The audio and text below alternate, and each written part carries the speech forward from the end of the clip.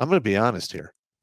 There's a lot of stories that are not being picked up by the mainstream media because they don't want the general America to know. But there's acts of violence taking place between these illeg- illegal immigrants and U.S. citizens, the police forces, and uh, we- have Oh yeah, that's that's well underway. yeah, it's Well- well, it's already it's already happening. Yeah. And it's literally happening under our fucking noses. And most people out there are completely oblivious because they watch the Super Bowl and or their sports, and all they want is their beer and sports. Yeah. And it's going to take something like, "Hey, I, my house is cold and I I have no gas, or the lights don't work, or my refrigerator, the magic box of coldness that always fills with food, is no longer producing food." That's when a lot of those idiots are going to wake up. And then coming back from that, it's really, really hard. Or hey, what are these nice, charming Congolese men doing in my backyard with machetes? Yes. Mhm. They must be wanting to prune the bushes. No, they want to prune you.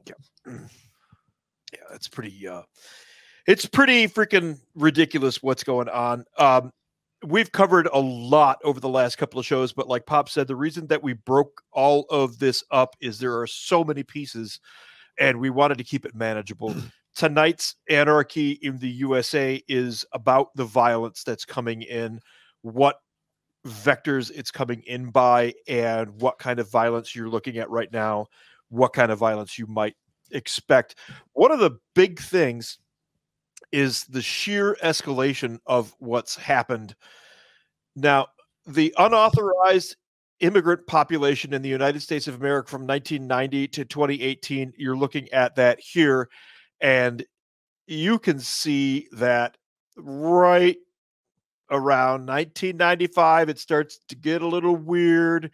And then by 2005, it's obvious that Yeah. this is this is a staged event. And, and this one actually does, it only goes to two, 2018. It's six years ago. Yes, It's probably even higher now. that's correct. That is absolutely correct. This proves that this is a manufactured event. Yes. At no point in human history, anywhere, has this sort of mass migration taken place. And it certainly hasn't taken Well- uh, place across thousands of miles and a couple of oceans. no, it happened once in the past. Where? Uh, the sea peoples in the Bronze Age when they, Incorrect.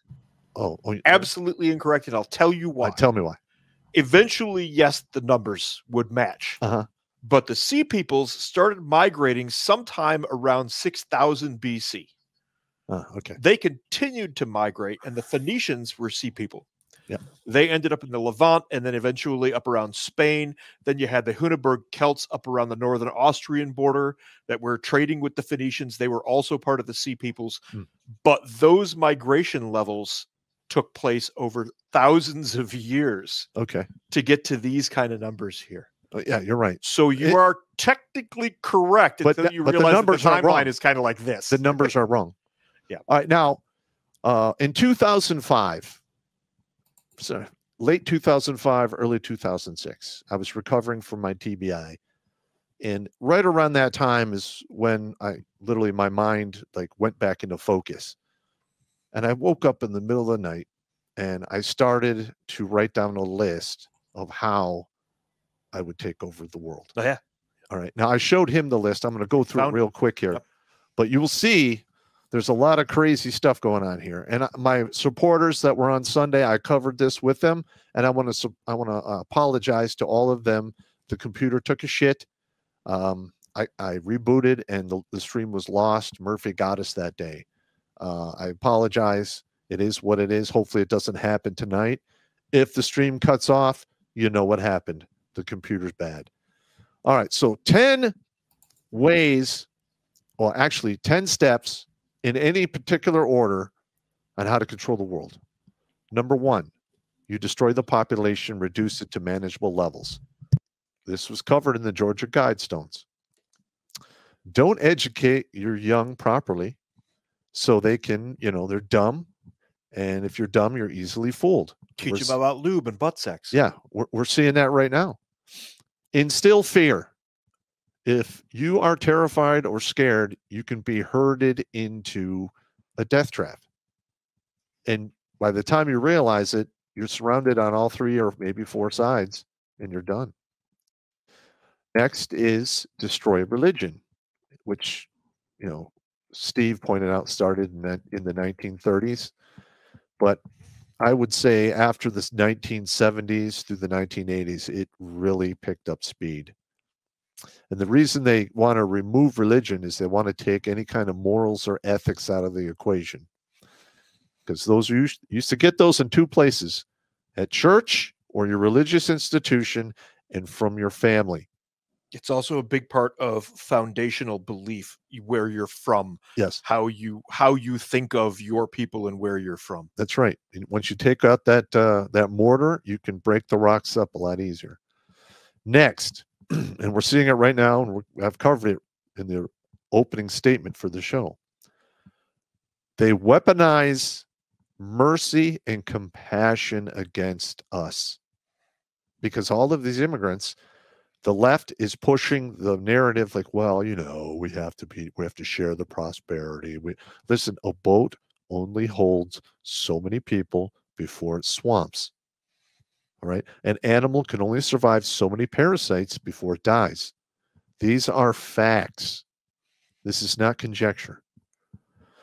All right. Yeah, a good example of that, by the way, is the whole uh, early 1980s. Some of you might not even have been alive for this.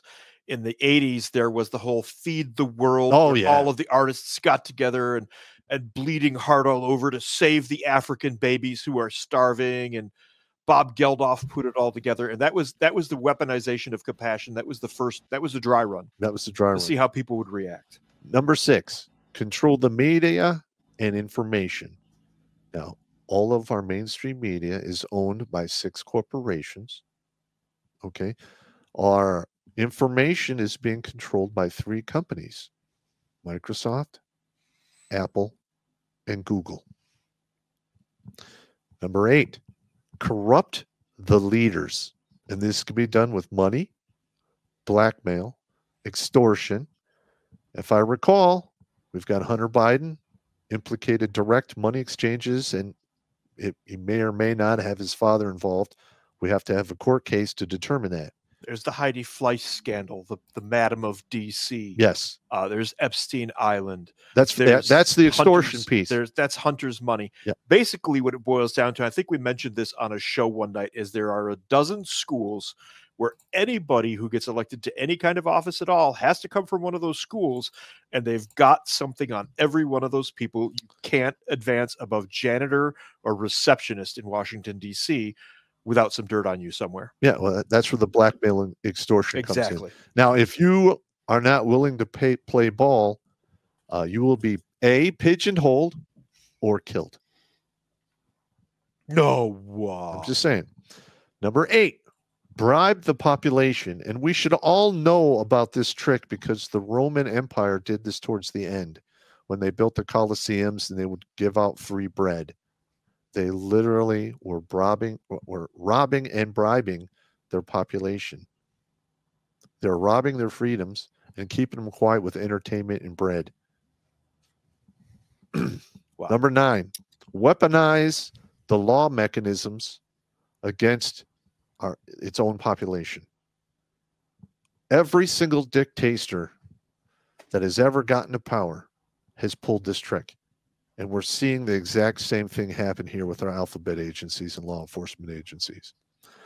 Number 10, divide and conquer. Yep. 10 steps. Almost every single one is in play right now. Like the divide and conquer, we're being divided via religion, gender, race. Sports ball team. Yeah, I mean, uh, You that think the Taylor Swift thing isn't manufactured? Oh Give me a no, it, it totally is. But I mean, that's what's happening here, and we're and it's such a big flow chart and such a big a big subject. We can only really talk about one or two of these at a time. I'm planning down the road to have a, a classic whiteboard moment where I cover all this.